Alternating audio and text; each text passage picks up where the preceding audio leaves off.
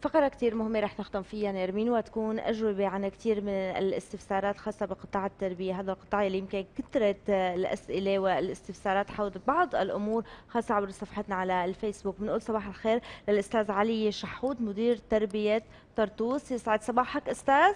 أسعد الله صباحكم بكل خير. أهلا وسهلا. يسعد صباحك أستاذ وأهلا وسهلا فيك. رح نبدأ فورا من أول سؤال أو قضية. هي عم تكون فائض مجمعات غرب حمص.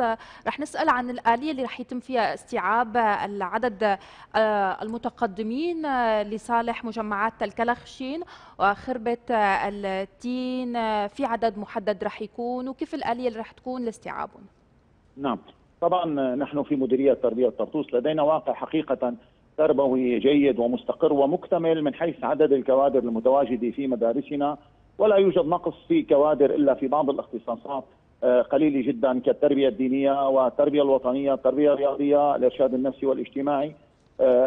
لا يوجد غيرها. وهي مغطاة طبعا من اختصاصات قريبة منها فمثلا التربية الدينية مغطاة باللغة العربية والاجتماعيات أيضا التربية الوطنية بالتاريخ والجغرافيا والفنون النسوية تغطي الرياضة الإرشاد قريب منها الفلسفة. بالتالي واقعنا مستقر. لكن وفق توجيه السيد الوزير تداولنا مع مديرية تربية حمص حول وجود فائض لديهم في بعض المجمعات من أبناء محافظة طرطوس ومن اختصاصات مختلفة. وحقيقة تم دراسة قابلية استيعاب جزء من هذا الفائض لديهم ضمن الاختصاصات التي يمكن توظيفها في تربية طرطوس بأعداد محددة وراسلونا وتواصلنا معهم على أنه يوجد في في ثلاثة مجمعات ممكن تحديد مركز عمل عدد من الزملاء المدرسين تخفيفا العبء عنهم وتقديرا للوضع الاقتصادي العام الذي كما تعلمون يمكن أن يكون عائق، بالتالي نحن قلنا يمكن استيعاب جزء من الفائض لديكم حقيقة سيتم الاستيعاب في الصفين الخامس والسادس اللذين اللذين الصفان هذان يتبعان الحلقة الأولى على اعتبار أن منظومة الثانوي والحلقة الثانية وجزء من الخامس والسادس مستكمل بالاختصاص في مدارسنا. طبعا مديرية تربية حمص كما تعلمون أعلنت عن إمكانية تقدم بطلبات لديها من أبناء ثلاث مجمعات. نحن درسنا أين يمكن استيعاب هؤلاء ووجدنا أن ثلاثة مجمعات لدينا يمكن استيعاب هؤلاء الزملاء. هم مجمعات صفصافة وبانياس والقدموس. بالتالي هذا الأمر الآن في طور الدراسة لمعرفة الأعداد التي يمكن استيعابها والاختصاصات التي أيضا يمكن أن تكون في مدارسنا.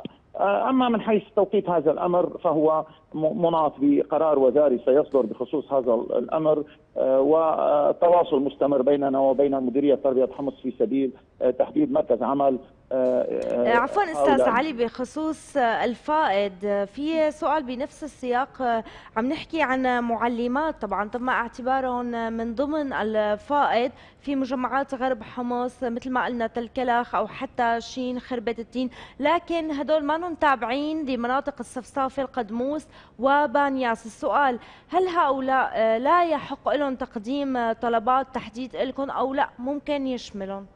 طبعا تحديد مركز العمل بالنسبة لطلبات هي تتقدم لدى الوزارة هي مركزية. بالتالي نحن كمديرية تربية سابقا لم نستقبل طلبات تحديد مركز عمل سابقا ولا الآن.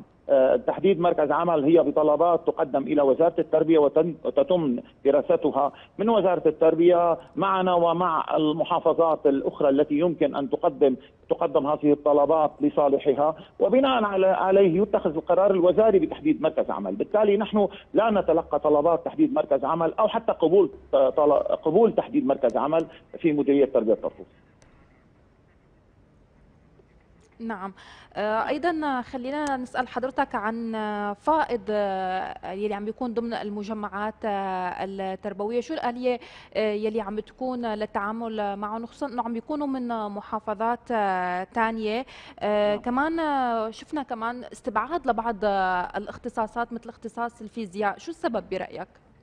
طبعا اولا بالنسبة لي إمكانية الاستيعاب لاختصاصات معينة، نحن هذا الأمر ضمن إطار دراسة موضوعية، كما قلت لك واقعنا مكتمل، لا يوجد لدينا فائض قطعا، لكن آه نحن منفتحين على تقدير واقع أبناء آه هذه المحافظة الموجودين في محافظات أخرى. آه لم يردنا من حمص، نحن تواصلنا مع مع بتواصل تربية حمص معنا، لم ترد اختصاص الفيزياء ضمن الاختصاصات التي لديهم فائض فيها. بالتالي لم يناقش هذا الموضوع. نحن بناء على تحديد الفائض من قبل محافظة حمص درسنا إمكانية الاستيعاب للاختصاصات التي زودونا بها. بالتالي بعض الاختصاصات لم تكن, لم تكن ضمن الاختصاصات التي يوجد فائض فيها لديهم ولم تناقش هذا الموضوع. نعم موضوع كثير مهم كمان انطرح أستاذ علي عن موضوع توطين التعليم. يمكن نحكى فيه مرارا وتكرارا لكن النتيجة أو أو الفكرة الأساسية اللي نحن بدنا نوصل أه وين وصلنا بموضوع توطين التعليم؟ اللي مثل ما بنعرف إنه وزارة التربية مشكورة عم تشتغل على تحقيقه وتمكينه.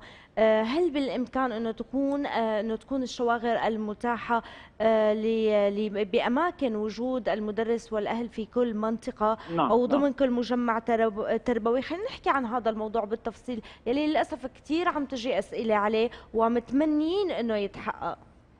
طبعا في تربية طرطوس التعليم موطن في جميع المجمعات والمناطق عدا منطقة واحدة هي مجمع الصفصاف يعني أنا الآن ليس لدي معلم أو مدرس من أي منطقة يدرس في منطقة أخرى خلاف في مجمع الصفصافة لعدم توفر الكوادر اللازمة من أبناء هذا المجمع.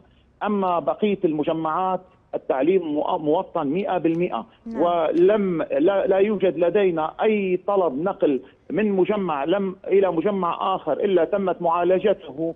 بالتالي لا يوجد مثلا مدرس من مجمع الادريكيش يدرس خارج إطار مجمع الادريكيش وكذلك في المناطق جميعا. بقي نقطة أخرى.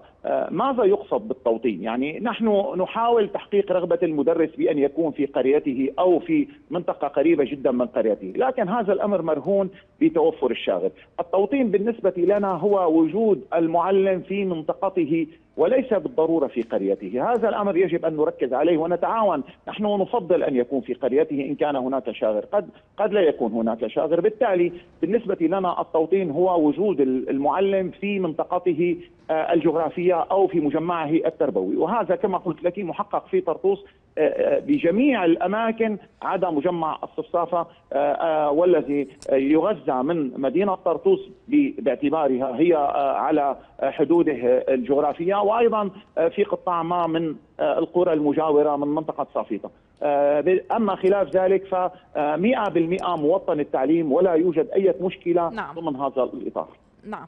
أه قبل ما ننتقل أستاذة علي لمشاكل فردية وردت لصفحة البرنامج. خلينا بالمشاكل العامة وبدنا نسأل عن موضوع الوكالة الاختصاصية. أه هذا القرار كان معمول فيه من حوالي سنة تقريبا. ما زال معمول فيه وبدنا نسأل إذا في شواغر مطلوبة ضمن الوكالة الاختصاصية بطرطوس أو ريف طرطوس. طبعا. طبعا نحن الوكالة الاختصاصية نفذت لدينا وكانت قرار وزاري وفق الشواغر المتوفرة وفق النقص في الاختصاصات، أنا قلت لك منذ قليل أن الاختصاصات التي يوجد فيها نقص لدينا هي التربية الدينية بنوعيها، التربية الإسلامية والتربية المسيحية، وأيضا التربية الرياضية وأيضا هذه الاختصاصات عمليا نحن أعلنا عن خريجين. كما تعلمين في الشروط يجب أن يكون الخريج خريج جامعي أو سنة رابعة فيما بعد أو ثالثة من نفس الاختصاص، بالتالي نحن نفذنا الوكالة الاختصاصية لمادة التربية الدينية في تربية طرطوس ولم يتقدم لدينا أي طلب لتنفيذ وكالة اختصاصية إلا نفذ في تربية طرطوس. طبعا بقي الأمر محصور في التربية الإسلامية آه لوجود النقص فيه بينما لا نستطيع في اختصاصات أخرى لعدم وجود نقص في هذه الاختصاصات. نعم. آه بعض الأسئلة والاستفسارات يمكن حملت آه أمور فردية أو مشاكل شخصية خلينا نقول. من ضمنها أحد الرسائل اللي وردت لبريد الصفحة بيقول إنه نحن أربع نساء أنسات تم تحديد مركز العمل لصالح القليعات ومدرسة الضمه التابعة لمجمع الشيخ بدر. نعم. طبعا عم تحكي عن هذا الخط معدوم السير فيه لا توجد أي وسيلة نقل. قدموا طلب اعتراض بدون أي رد علما أن المعلمين صف وتم وضعهم كمعلمين احتياط وبالتالي خسروا طبيعة العمل. نعم. أه سأجيبك في إطار هذا الموضوع. حقيقة هناك ثلاثة قرى تتبع أه تنظيميا وجغرافيا لمجمع الشيخ بدر. هن بغمليخ والقلاع كما تفضلتي ثلاثة مدارس. تبعد هذه المدارس عن مركز أه الشيخ بدر حوالي ما بين 8 ل 10 كيلومتر. أه حقيقة نحن الآن جزئيا نغذي هذه المدارس من طرطوس التي تبعد حوالي 30 كيلومتر عن هذه القرى. الآن سبق وتحدثنا تحقيقا للتوطين. نحن نغذي يجب أن نغذي هذه المدارس من المجمع التابعة له. بالتالي هي مجمع الشيخ بدر. وكما قلت لك المسافة الجغرافية ما بين 8 إلى 10 كيلومترات. هذا الواقع عمليا طالما هي تتبع لمركز مجمع بالتالي لمركز منطقة هي الشيخ بدر أعتقد يجب أن يكون السير مؤمن إلى حدود معينة. أما بخصوص الاحتياط والآن هم احتياط، نحن في تربية طرطوس خصوصا في معلم الصف. كما تعلمين أن الواقع التعليمي مستقر ولدينا معلمات في جميع الصفوف ولا يوجد لدينا أي صف لا يوجد فيه معلم، بالتالي تريثنا في نقل المعلمات حتى العطلة الصيفية حرصا على أن يبقوا مع طلابهم. هذين الشهرين تحقيقا لعملية انتظام للعملية التعليمية ومصلحة عامة أن يبقى المعلم مع طلابه حتى يكتمل حتى انتهاء العام الدراسي. وضعنا هؤلاء المعلمين الذين حددوا مركز عملهم لدينا احتياط حتى العطلة الصيفية سيتم تسوية الموضوع بنقل طالبين نقل من هذه المناطق وعندئذ سيدخل هؤلاء المعلمين قبل بداية أو مع بداية الفصل الثاني في الصفوف وينالون طبيعة العمل 40% أما الآن كان الحل الآخر هو أن ننقل من هم داخل الصفوف إلى أماكن يصبحوا فيها احتياط ويفقدون طبيعة عملهم يحل محلهم معلمين جدد.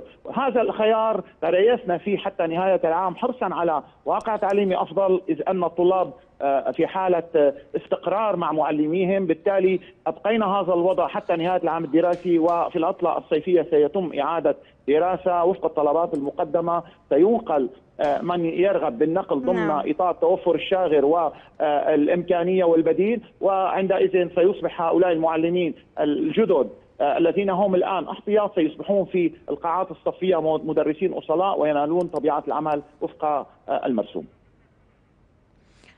نعم يعني خلينا نختم هيك بآخر سؤال نسأل فيه عن خطة وزارة التربية بطرطوس لتعزيز الواقع التدريسي أو أي مشكلة اليوم هي موجودة بتحب تضوي عليها ولقيتوا لها حلول ولو سريعا.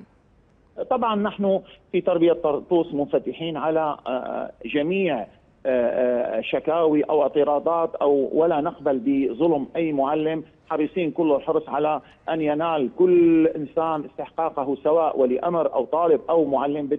بالتالي مكاتبنا مفتوحة والمراجعات محددة بثلاثة أيام لأي أحد يجب أو يحب أن يطرح مسألة لدى مديرية التربية، تعالج الأمور بطريقة قانونية وبطريقة جيدة بحيث حصلنا على واقع تعليمي جيد والحمد لله الواقع على مستوى نوعية التعلم التي يقدمها زملائنا المعلمين وأيضا النتائج التي نحصل عليها سنويا مؤشر جيد على واقع تعليمي جيد في نعم طبعا أستاذ علي مشكورة وزارة التربية على كل الجهود اللي عم تبذلها لكن كمان في سؤال كثير مهم نتمنى ناخذ جواب من حضرتك عن نعم. طبيعة العمل وبالنسبة للصرف خاصه في محافظة طرطوس نعم. للعقود طبعا استفسارات عم بتقول إنه ما قبضوا طبيعة العمل حتى هي اللحظة. هل سيتم البدء بصرف طبيعة العمل أو حتى ستكون عن الأشهر الماضية؟ بس حتى ناخذ السؤال بشكل كامل. تمام.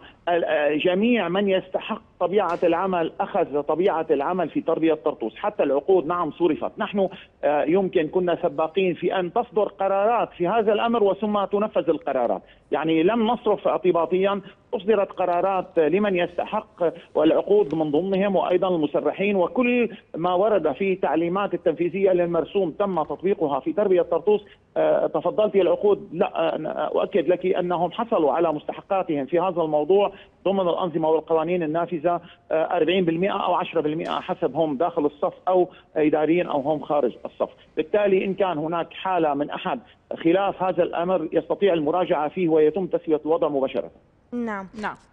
كل الشكر لك أستاذ علي على كل المعلومات اللي قدمت لنا إياها وأكيد في أسئلة كثير كبيرة كمان نتمنى آه، ناخذ اتصال من حضرتك أن, أن أوضح مسألة ان أن أوضح مسألة. هناك بعض الاختصاصات التي كلفوا زملائنا زملائنا آه، إداريين يعني إدارة وتخطيط أو آه، نعم. كانوا لدى الإدارة المركزية. هم إداريين في المراكز الإدارية التي تتبع المديرية. نحن راسلنا الوزارة لإمكانية الاستفادة منهم شواغر إدارية في مدارسنا. وعندما نحصل على تفويض أو أو حتى قرار في هذا الموضوع سيتم إرسال هؤلاء حرصا على تحقيق واقع آه، قريب من أماكن سكنهم ووفق رغبتهم. نعم، أستاذ علي نوهت لنقطة إنه أي حدا عنده أي مشكلة آه، أبواب المديرية بمحافظة طرطوسيه مفتوحة. هذا الموضوع وأنا أنا لا أغلق بابي على الإطلاق لكن أحيانا هناك فعاليات أنا الآن في فعالية حقيقة ليس بالضرورة أن أكون موجود في المديرية، مكتب المدير مفتوح لتلقي جميع الشكاوي وتعالج انيا